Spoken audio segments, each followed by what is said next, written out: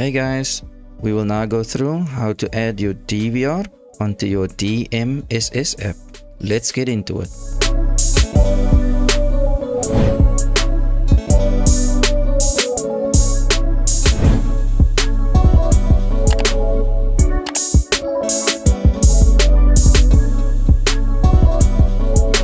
We will now select add device. You will now scan the QR code on the DVR that says device serial. We don't have a security code, so we're going to click next to continue. On the left, you're going to select NVR XVR. At the top, we're going to select DVR XVR.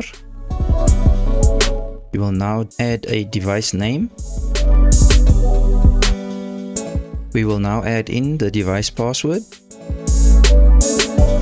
We will select save top right corner.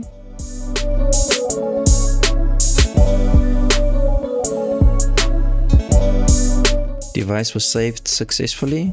Time zone is correct.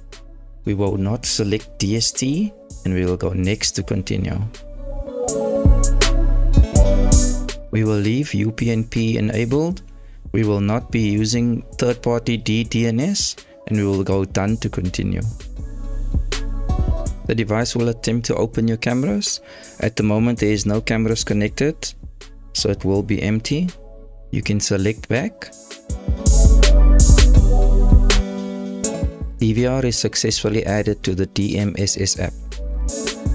And that was how to connect your DVR to your DMSS app.